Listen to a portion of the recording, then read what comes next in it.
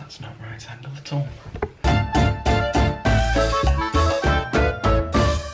Hello everybody and welcome back to a brand new video. I do hope you're all well. Let me know how you're doing in the comments down below. Exam season is very nearly here. For me, I have just a couple more days until my first exam. That exam is linear algebra, if anybody's wondering. And then I have my last exam. I have four exams, but my last one is on the 9th of June. So revision is well underway. And to be honest, I have kind of experimented with a couple of revision methods. I've only done a few university exams. I did some in semester one, but semester two for me has been quite different. The courses have been a little bit harder, which is kind of expected, but what has kind of not thrown me a little bit, but is a little bit uh, different, especially to A-level and my uh, first semester, is the amount of maths we have to learn. For anybody wondering, I am doing a maths degree at the University of Manchester, and I have four courses for semester two. I have linear algebra, I have calculus and applications, I have sequences and series, and I have introduction to statistics. And we have exams for all four of those courses. And I have to revise a lot of stuff. At A-level, you have your end of year exams where you're assessed on everything, and of course there's a lot there. But what's different here is we kind of have a lot of maths in linear algebra and a lot of maths in sequences and series and a lot of maths in the other two courses as well. So I have a lot of revision that I need to do. Today, what I want to share is how to use lecture notes effectively when you're revising. Now before we go any further with this video, I want to just say thank you to ProPrep for sponsoring this video. ProPrep is an online learning platform for STEM university courses. You go on and you can enter your university, you can then select your courses, and it makes a tailor-made study guide for you. If you enter your university, all of your courses will come up and you'll be able to watch videos, go and look at study guides and get some help from professors about your university course. All you have to do is enter university, get your courses selected and then get learning. The website is available at any time, any time of day on any device. So whenever you're studying, if you need that extra help, you can go on, see your university syllabus and then watch the video that ProPrep has created. ProPrep are already helping half a million students prep for those exams. I'll pop a code on here. You will get a 14 day free access to the website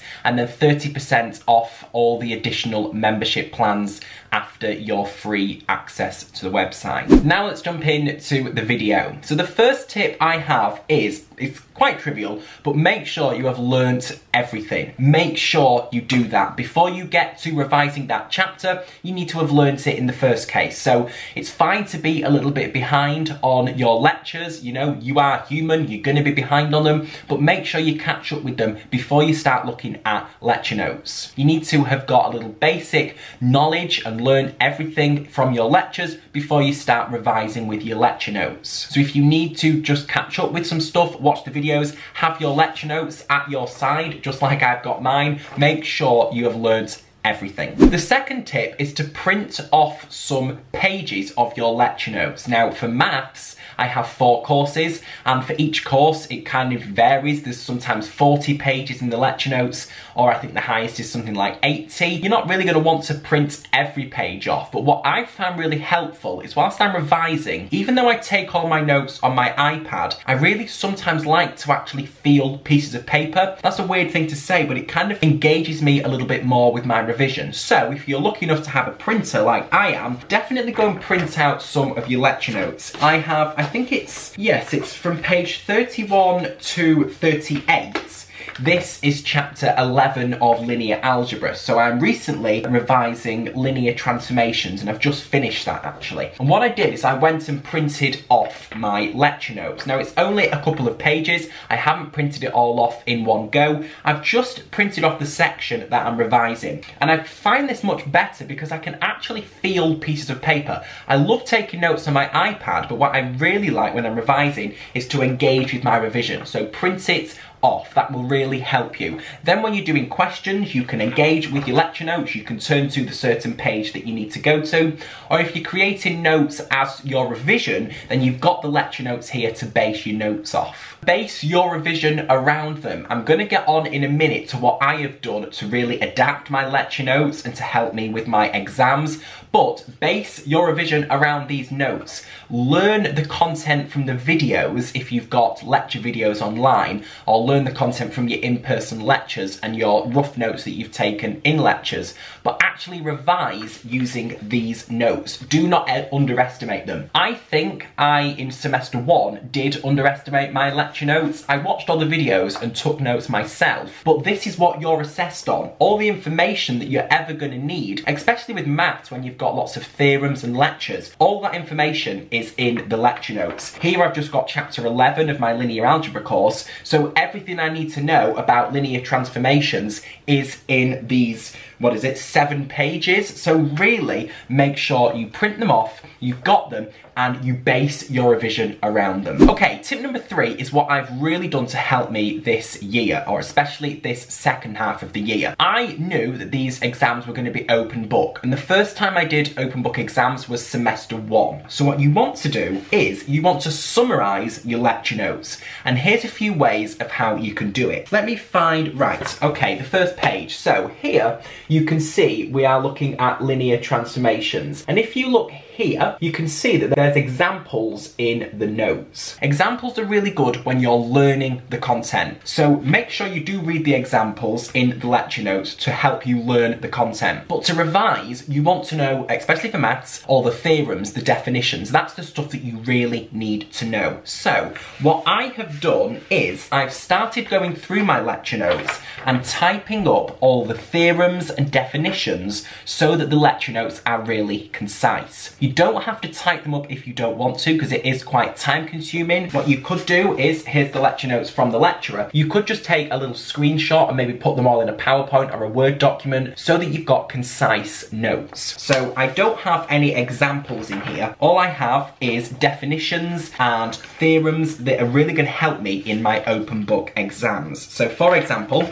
we'll just take the first page. You can see it's very summarized. I've got little lines here, what I do, and I use those, I'm gonna do that so it doesn't focus on me. I use those basically to separate the working. I have no examples in here. All I have is theorems and definitions. And that way, my notes are really concise. So instead of flicking through like an 80 page document, all I have to do is flick through a little bit of notes. Here you can see I've finished this. This is sequences and series.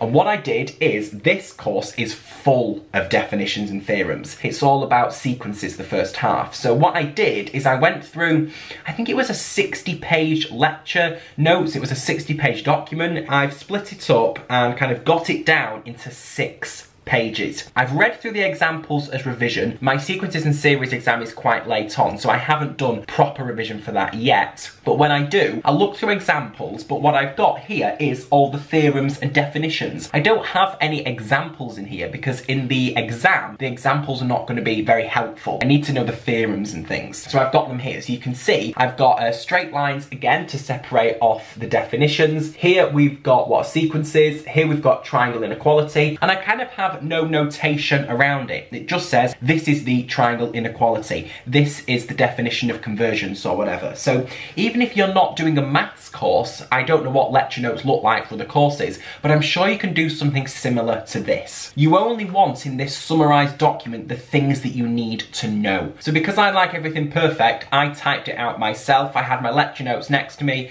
and I had a Word document open and just typed it out. And actually, that was an incredible form of revision for me because I was typing things out. And as I was typing, they were sticking in my brain even more. I was typing out the definition of convergence, I was typing out what the sandwich rule is, for example, and as I was typing it out and taking it from my lecture notes into my summarised notes, that was kind of uh, solidifying, is that the right word? Yeah, solidifying the knowledge in my brain. And that really, really helps. So it's kind of like an extra form of revision. And the last tip in this video is tip number four. Look at your own notes that you've made throughout the semester and make sure they match with the lecture notes. As you're revising, get up the notes that you made for that topic and make sure everything that is in the lecture notes is in your written notes so that you've kind of got a variation of what you can revise with. Do you want to revise with the lecture notes? Do you want to revise with your written notes? And if you want to revise with written, make sure that they're perfect and they're really, really neat and you can really understand them quite easily and they match with the lecture notes because again, the lecture notes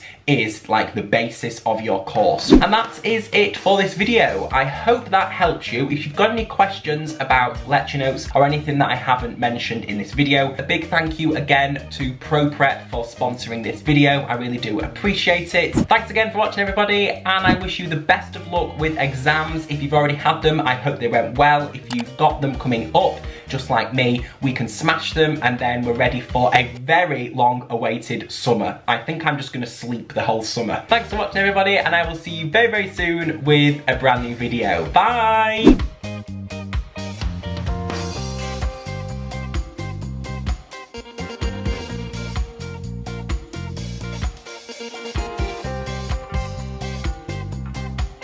I'm gonna do that so it doesn't focus on me.